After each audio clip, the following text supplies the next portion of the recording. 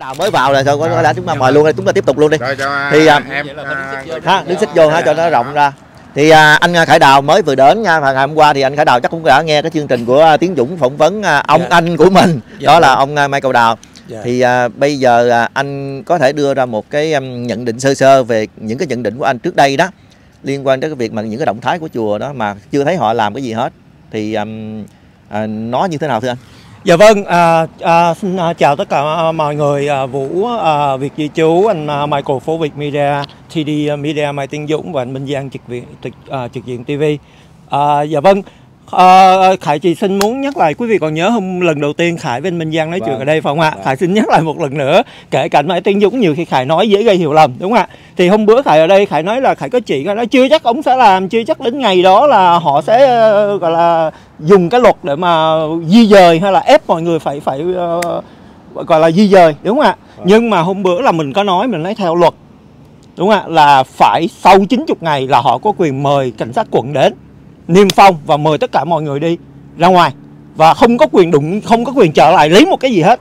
Một lần nữa khải nói cái đó là theo luật đúng không và hôm qua bác sĩ Michael Đào cũng đã là xác nhận lại với anh. Có phải không? Dạ. theo luật là hoàn toàn họ có quyền làm như vậy.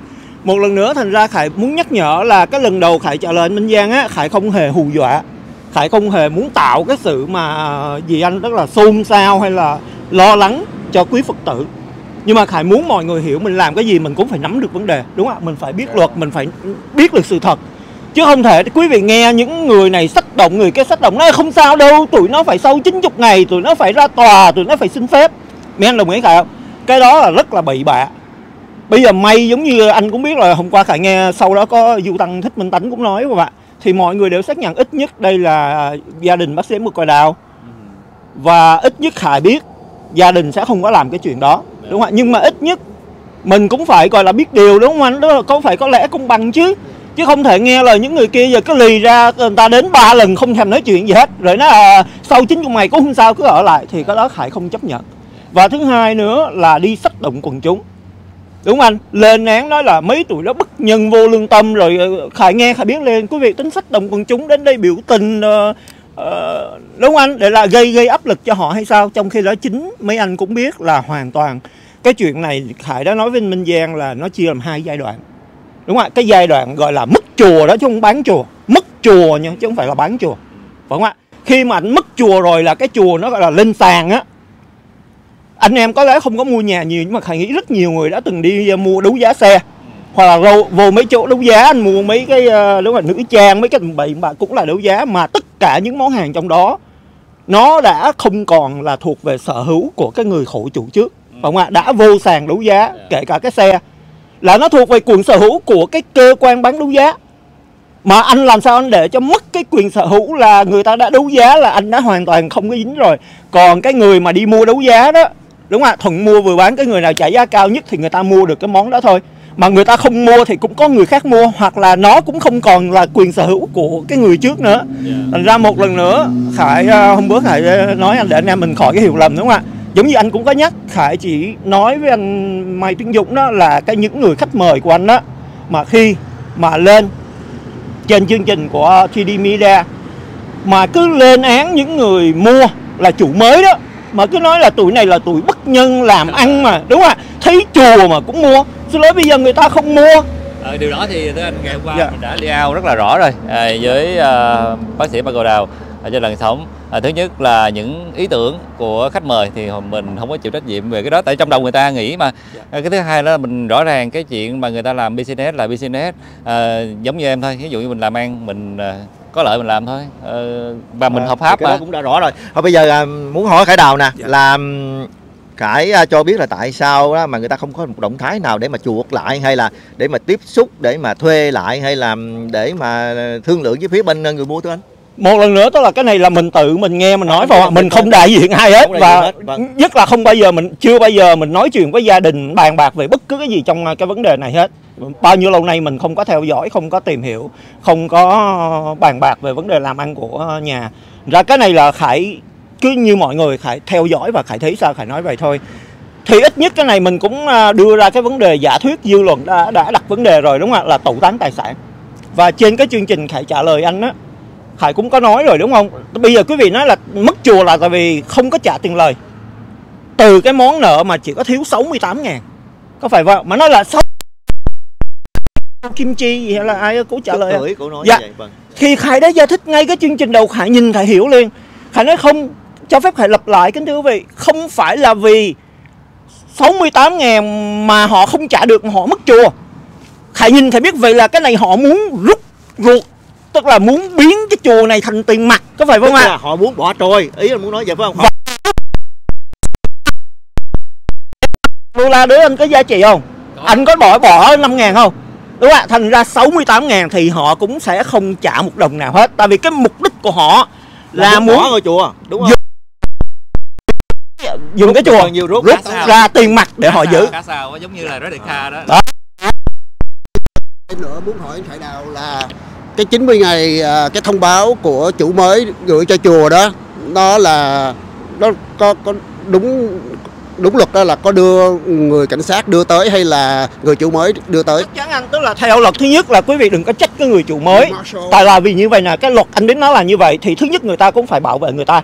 Đúng không? Tại vì luật nói là ờ, sau khi anh mua rồi anh chủ quyền rồi thì anh phải thông báo. Này để người ta sắp xếp. Thì bổn phận họ là phải báo trước thì trả lời anh à, Michael thì chắc chắn họ phải tống đặt nhiều cách đúng không ạ họ phải gửi thư register họ làm đủ cách và đương nhiên phải sheriff quận Đến. Marshall là của quận đó. Dạ vâng, dán đàng hoàng tất cả mọi thứ Khải đã nói họ làm bác sĩ Đào nói rồi từ năm 40 năm nay và đã qua một cả ngàn thành ra họ hoàn toàn luật họ nắm rất là chắc Chính xác. Vâng, rồi trở lại cái câu hỏi hồi nãy đó anh nói chưa hết ý đó thì anh có thể trình bày thêm đi là về cái việc mà sư cô hay là những người trong chùa tại sao người ta không có à, anh nói là à, người ta giống như là bỏ trôi đó Dạ. rồi à, để làm cái việc mà muốn rút tiền ra thôi chứ Dạ. không có thể hiện một cái thiện chí muốn giữ ngôi chùa không Dạ, đúng. không cố ý giữ ngôi chùa Dạ. anh nói tiếp cái ý đó tại vì như vậy như anh nếu mà mọi người không để ý không những họ bỏ trôi mà họ là thì có nghĩa là sao anh hay dùng từ ăn hai máng. Thì cái này khải có thể nói là họ ăn hai lần là như vậy. Khải nói khải dạ, giả dụ là cái người đó nha hồi xưa mấy anh tin tưởng khải gì? Nói ê khải anh nói chuyện hay lắm mà để à, à, tôi ờ, quyên góp bá tánh lập chùa để anh làm trụ trì đúng không? Khải lúc khải mua khải đâu có nói là cái này của anh em quyên góp đâu. Khải ra nhà băng khải lấy tiền khải lấy tên khải đào là chủ. Khải vẫn là lập chùa lên để cho bá tánh đến làm lễ. Đúng không một ngày đẹp trời khải bị cái chuyện này lấn cấn khải muốn phải rút tiền mặt ra khải thủ thì khải kêu uh, thằng cháu khải lên. Khải chỉ cần sang tên ký tên của khải mà khải cho nó thôi. Nhưng khải tính như vậy nè giống như nãy giờ rồi mình dặn nói. nó đúng không rồi dặn nó mày đi thế giùm tao đi cầm giùm tao. Tao sang tên cho mày để bây giờ cái cái này là cái xác thôi.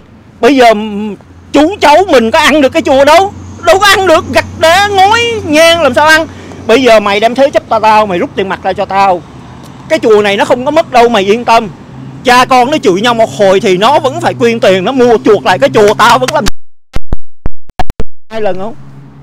Vâng. đúng không? Anh lấy ra được tiền mặt nhưng mà anh vẫn làm chủ trì. Cháu anh vẫn làm chủ trì anh vẫn bá tánh vẫn đến vái lại anh thôi. nhận định như vậy là cũng ờ, khá gắt nha anh rồi cũng hơi ác đó. Ê cái này là tôi lấy giả thuyết tôi nha Tôi nói giả thuyết thôi. Thì anh à, có lẽ là vẫn có quyền nghi về giả thuyết đó nhưng mà một cái à, giả thuyết khác nữa là à, người ta nói là à, tại vì dính dáng tới cái chuyện à, tòa án à, dính dáng số tiền là thua 350 ngàn đó thành ra là cái hình thức này là hình thức chạy cái số tiền đó Dạ vâng Anh thưa anh? Giống như hồi nãy anh em nói credit card phải không ạ Còn này giống như Khải thiếu nợ đi Vay, vay nóng chơi bài thua Bây giờ người ta đến siết nợ nó mà mày ờ, chủ cái chùa đó phải không? Người ta đến ta siết nợ mày thì phải tìm cách làm sao? Rút tên ra, chuyển tên là nước chạy nợ thôi đúng không? Bên Mỹ thì nó thưa quý vị nó không có là dùng giang hồ chặt chém hay là gì hết. Thành ra nếu mà ra ngân hàng tài khoản mình không có gì hết thì thua thôi.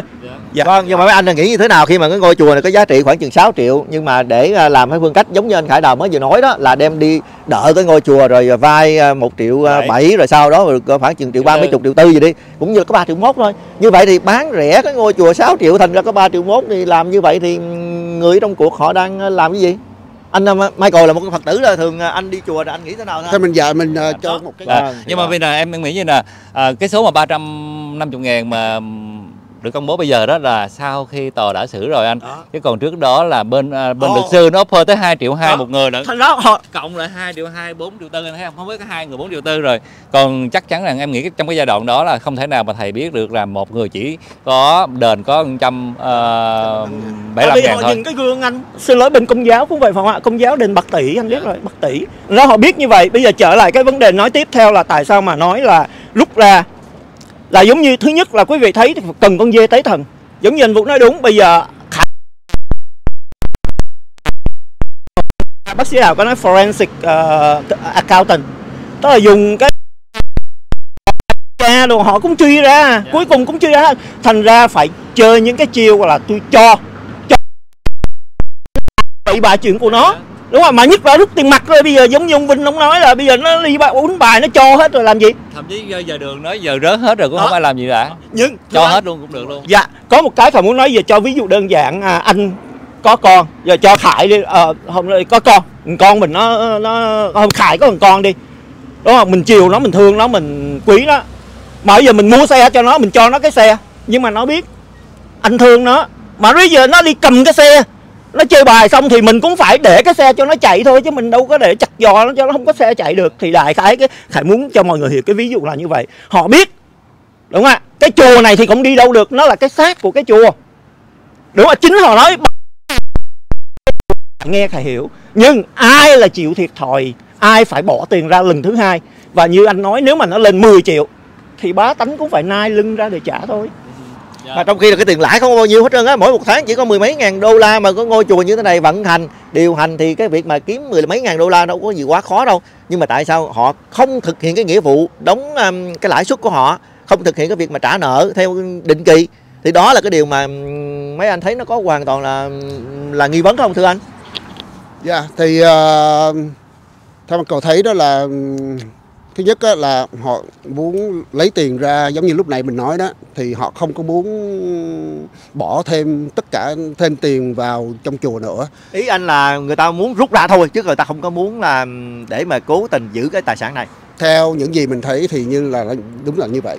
Vâng thì ý dũng sao à, cũng giống như vậy thôi dạ à, còn à, à, lấy, hả? lấy vô giống như ra đó Đó. à, tức nghĩa là Vô vậy là muốn bỏ ta. trôi luôn muốn buông xuôi luôn À, bây giờ em em em em cũng đồng ý ông à, bác sĩ Michael Đào này.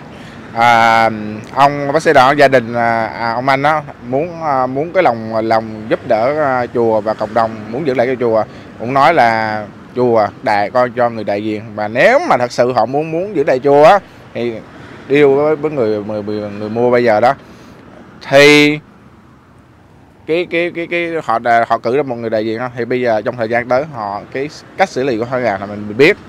Còn nếu mà họ muốn ờ, họ muốn thủ thuật để bán thì họ họ lấy tiền ra để à, mình ở đó này là chi chác như thế nào mình chưa có biết rõ nhưng mà đây là một trong những cái vấn đề mà mình cần phải đưa ra trong thời gian tới Vâng, tôi có một cái câu hỏi riêng cho anh Khải đó là anh có thấy là trong thời gian vừa qua hình như là giới truyền thông đang bị dẫn dắt hay không? Khi mà có những cái thông tin mà đưa ra thì nói là chúng tôi nghe nói thế chúng tôi họp kín thế kia chúng tôi là nghe ông Lê nói chúng tôi nghe ông Trí nói các thứ nhưng mà cuối cùng đó thì đến bây giờ lộ ra một chỗ là không có một cái động thái nào là gọi là chuột chùa hết. Thì như vậy thì à, hình như người ta đang dẫn dắt chúng ta hay không thưa anh? thưa Hay anh là muốn là à, muốn là làm cái gì đó che mặt um, mọi Phật tử không thưa anh? Ờ, hình như hôm qua à, Du Tăng Thích Minh Tánh có dùng cái từ gì rồi phải không ạ? Tức là muốn câu giờ và ờ, thầy dùng cái từ gì ờ, hán ờ, văn gì đó. Thì nói chung là vậy nhưng mà thưa anh nếu mà hồi xưa mà Khải nói công khai á thì xã Phật lòng rất là nhiều Phật tử họ họ sẽ phẫn nộ việc cảm thấy Khải là là gì anh ờ, bất kính với họ hoặc là mấy anh cũng sẽ giận Khải. Nhưng mà Khải có nói riêng với một vài người, vài người Khải nói đừng có để mà Khải ra Khải công bố là tôi không có chờ thằng tội phạm nào nói cho tôi biết hay là nhỏ tôi, tôi không có phải ngồi đây chờ mấy anh nhỏ giọt thông tin rò rỉ thông tin đúng không ạ đừng bao giờ nói là phải cho tiền phải là đại gì gọi là tức là cái người cho thật nhiều tiền á giống như cái người gọi là, Cái là người ủng hộ thật là nhiều tiền À. quyền nói. À, đừng có bao giờ nghĩ như vậy. Thứ nhất, mình làm cái vai trò truyền thông, đúng không ạ? Khi mà chúng tôi lên tiếng mà phanh phui được những chuyện này, cảnh báo được những cái chuyện mà có lợi cho quý vị. Quý vị có bao giờ đặt vấn đề, ồ mày có liên quan gì không, mày có biết gì không mà mày xen vô. Cái vai trò truyền thông là như vậy, nhất là watchdog. Truyền thông có quyền tìm hiểu và có quyền truyền tải, cung cấp thông tin cho đồng hương, khán thính giả và Phật tử. Đúng không ạ? Còn cái chuyện mà như hôm qua chính bác sĩ Michael Đào cũng nói là cái người nào mà cho tiền nhiều, người nào mà tham gia thường xuyên mà tham gia sinh hoạt ở chùa thì hay là thích du, du tăng nói đó là phải ngồi lại với nhau thành lập một cái nhóm để mà tự bảo vệ mình đúng không ạ? Thì cái đó là cái mà mà mà dạ khải khải muốn nói. Và anh thấy là làm sao? Truyền thông hình như chúng ta đang bị dẫn dắt hay không? Ờ, thì bởi vậy đang tại sao khải nói là khải không có chờ một kẻ tội phạm để mà nói tụi bay chờ đó rồi để tao rò rỉ thông tin tao nhờ giống như anh dùng cái ô bạc lơ gì đó.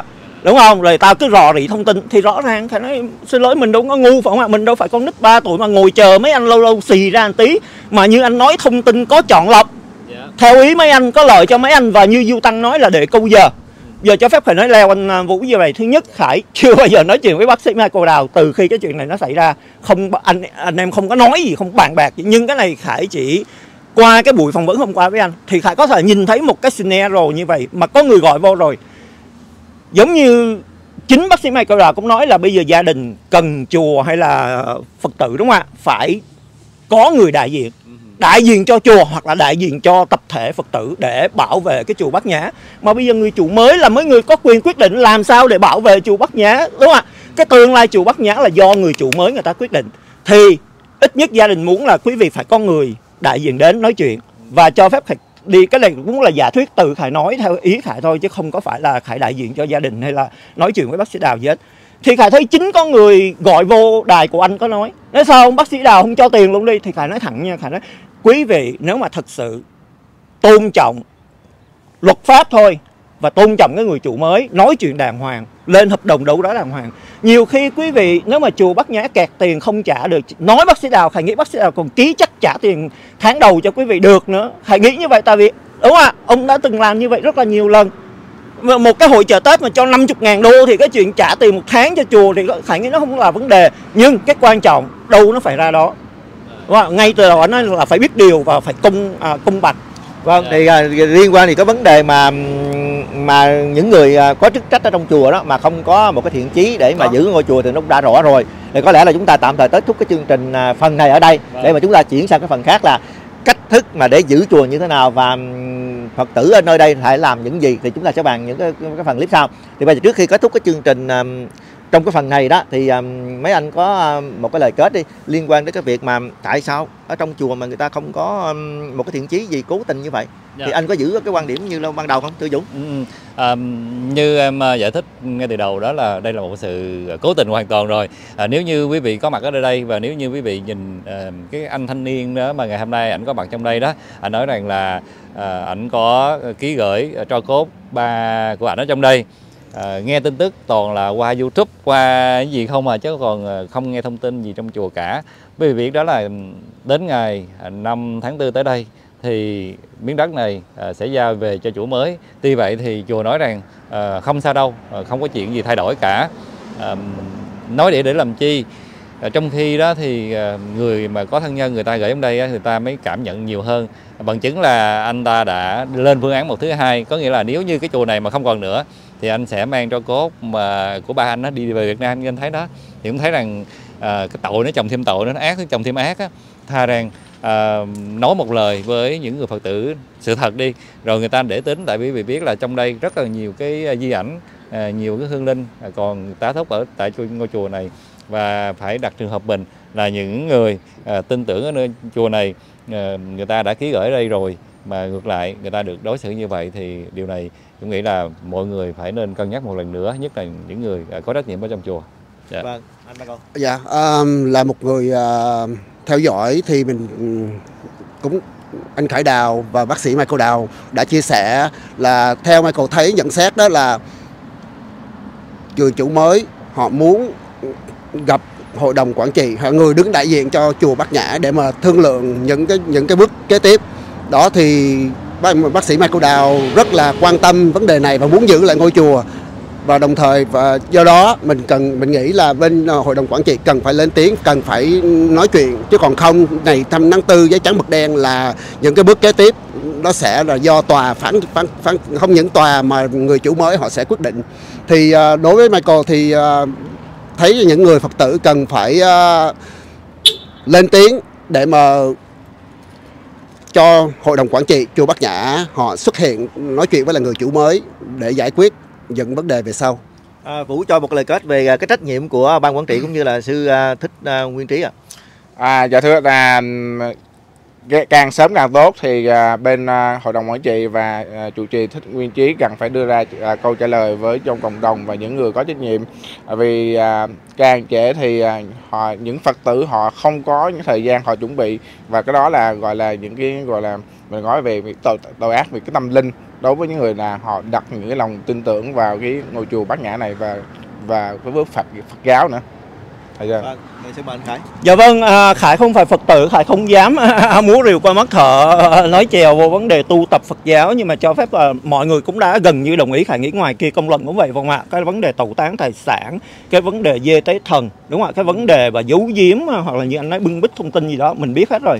Cho phép Khải à, nhìn về tương lai nói đến chuyện mà gọi là khắc phục hậu quả hay là riêng với những người mà gây ra cái chuyện này Khải nghĩ quý vị nên ăn năn sám hối và tìm cách đoái công chuộc tội có nghĩa là sao? Đầu tiên hết là cái tiền 3 triệu mốt đâu. Quý vị phải trả lại cho ba tánh. Rồi từ đó mới bắt đầu lập ra một cái hội đồng mở một cái ờ, hiệp hội gì mới, phải không ạ? Để mà tiếp tục duy trì hoặc là gây dựng, xây dựng lại cái chùa. Và giống như mình nói là mình học từ cái bài học này, thì mình phải là làm cho nó đúng cái cái cái nguyên tắc luật lệ để tránh cái tình trạng mà bất kỳ ai có thể mà rút ruột hay biến của công thành của tư và thêm một cái chuyện nữa, khải nghĩ quý vị là phật tử, mình đi chùa, đúng không ạ? Để mà lễ phật thì ít nhất mình tu tập. Thì khải có nghe nói sơ về chánh kiến, chánh ngữ, đúng không ạ? Rồi vọng ngữ đúng không thứ nhất là mình không thể nói láo. Và điều thứ hai, mình phải có cái lẽ công bằng. Không biết bên phật giáo dùng từ gì là khải nghĩ đối với những người nạn nhân. Nếu mà trước đây quý vị vì quý mến thầy muốn bảo vệ chùa, muốn giữ chùa mà đồng ý với cái phương thức này, đúng không ạ? Bây giờ là cũng cũng thôi không muốn tìm hiểu sự thật, không dám tìm hiểu sự thật, không dám chất vấn ban quản trị hoặc là thầy chủ trì, thì khải nghĩ quý vị nên nghĩ lại. Nếu mà mình đi chùa bao nhiêu năm mà mình coi như là không có tôn trọng pháp luật, mình không có bảo vệ công lý, công đạo, nhất là bảo vệ nạn nhân. Mặc dù nếu mà nhìn thì thấy chùa sẽ bị thiệt thòi, nhưng mà khải nghĩ cái đó giống như ờ, có chính ai cũng nói trên đại là Ờ, cứu một mạng người còn hơn xây bảy tháp phù độ mà. Bây giờ người ta là nạn nhân quý vị trả lại lẽ công bằng cho họ thì còn hơn xây cái chùa. Thành ra khải nghĩ cái giữ cái chùa nó không quan trọng bằng giữ được chánh đạo công lý. Thành ra khải nghĩ mọi người nên suy nghĩ lại và xây dựng lại cái tương lai đúng không ạ? Nó sẽ tốt đẹp hơn. Vâng, cái à, nhận xét của anh hải Đào cũng kết thúc chương trình à, của chúng tôi tạm thời tại đây và chúng tôi sẽ chuyển sang một cái chương trình à, kế tiếp. Xin kính chào quý vị.